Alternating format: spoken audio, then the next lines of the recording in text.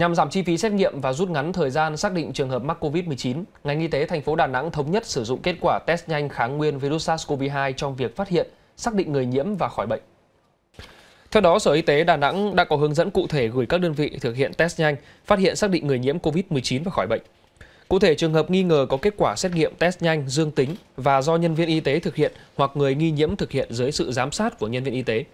Những người không có triệu chứng, có yếu tố dịch tễ hoặc tiếp xúc gần với trường hợp bệnh nghi ngờ hoặc xác định COVID-19 trong khoảng 14 ngày và có kết quả xét nghiệm test nhanh dương tính với hai loại test nhanh khác nhau.